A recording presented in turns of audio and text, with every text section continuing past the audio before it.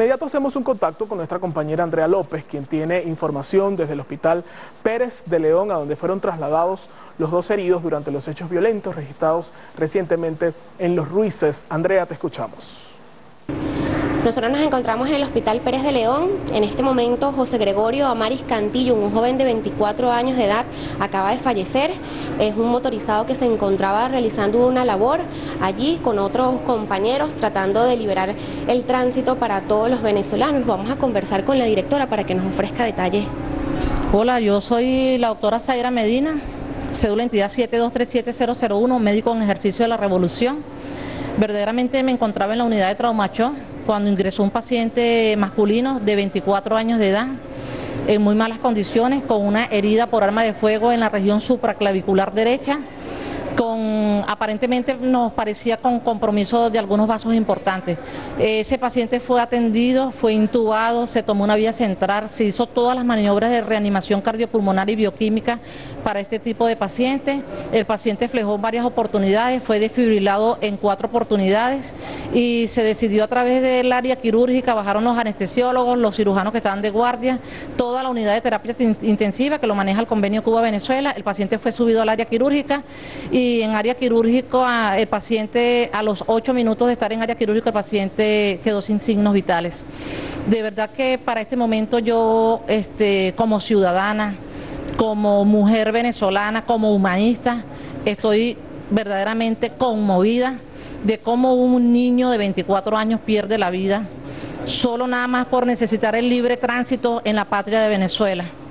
El hecho ocurre en la avenida Francisco de Miranda, cercano a la región allí de los Ruices, entre los Ruices y los Cortijos. Eh, mientras que ellos hacían, porque ellos lo que estaban eran pasando, querían es trabajar, porque todos son motorizados, mototaxistas, la mayoría de todos ellos. Estaban quitando los escombros de algunas mm, de guarimbas, barricadas que se encontraban en esa zona, y mientras iban pasando los motorizados, ellos se iban recopilando y todos a ayudar a hacer un trabajo social. Y mientras hacían esto, personas de algunos edificios comenzaron primero a tirarle botellazos, piedras, y de acuerdo a lo que me cuentan ellos, luego se convirtió todo esto en una zona de tiros y disparos y ellos no tenían dónde aguarecerse, pues, sino salir, pues, eh, a esconderse, a hacer lo que fuese necesario. Y en este momento esa bala le cayó al compañero José Gregorio, de 24 años, ha fallecido. Luego ah, hay otro herido, John García, de 30 años de edad quien ingresó también a nuestro, hospital con una herida eh, en cuero cabelludo y presenta para este momento un traumatismo cráneoencefálico de leve a moderado, ya está en tratamiento, si está fuera de peligro. Y ahorita nos informa que también ha caído muerto un, un, efectivo de la Guardia Nacional, que también solamente lo que estaba era cumpliendo con su trabajo. Gracias, directora. Vamos a conversar con las personas que también se encontraban allí, con José Gregorio. Dígame su nombre y su apellido. Como en efecto dijo la autora, somos de diferentes cooperativas y líneas de mototaxi organizadas. Y hacemos vida en el municipio Sucre e incluso en el municipio Baruta. Esta mañana estábamos llevando una jornada de limpieza, en paz, en amor, no caíamos en provocaciones. Cuando nos encontramos a la altura de los, los cortijos, diagonal hacia el canal 8, eh, nos emboscaron, nos cayeron a piedra, a botella. Y no contaste con eso. Cuando nos replegamos hacia la avenida Francisco Miranda, dejaron armas automáticas de guerra, nos las dejaron con todo, sin, sin ensaña, a matarnos, nos lanzaron a matarnos. Y eh, ahí cayó nuestro compañero, otro herido. Este, tenemos informaciones también que acaba de caer un, efectivo de la Guardia Nacional. De igual manera, el mismo disparo eh, vienen de arriba hacia abajo. Gracias, vamos a conversar con otro de los compañeros de Amauri para que nos hable, bueno, de dónde lo conocía y bueno, qué se encontraban realizando allí. Dime tu nombre y tu apellido. Mi nombre es Camilo Macas.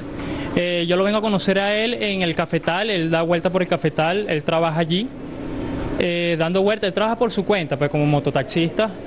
Eh, el día de hoy nos, unimos a una iniciativa de limpiar las calles, de quitar las barricadas y pasamos por muchos sectores, recibimos groserías, insultos, pero nosotros no, caímos en esa provocación.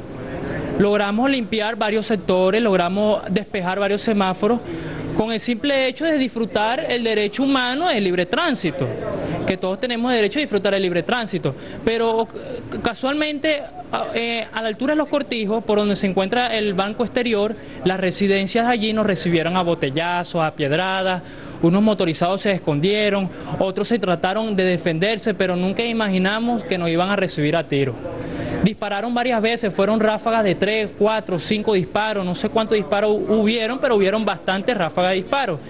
Lamentándolo mucho, le cayó el disparo a un muchacho joven de 24 años, mototaxista, que simplemente lo que estaba haciendo era barrer las calles, eh, abrir los semáforos para que la gente disfrutara el libre tránsito, porque es, un disfrute, no, no solamente, es un disfrute el libre tránsito, no solamente de los chavistas, es un disfrute de todos los venezolanos el libre tránsito. Aquí vamos a beneficiarnos todos libremente en pasar, aquí, aquí no se, eh, el libre tránsito no es para un solo color, es para todos los venezolanos, entonces ellos están con, la, con, con, con, las ganas de querer seguir trancar, de, de querer seguir estabilizar como dice el compañero, no podemos hacer mercado bien, no podemos disfrutar de un rato bien en las calles porque siempre hay un problema. El motorizado tiene que estar pendiente porque hay una guaya atravesada, una cantarilla destapada. Los motorizados se están matando, ya mataron a uno.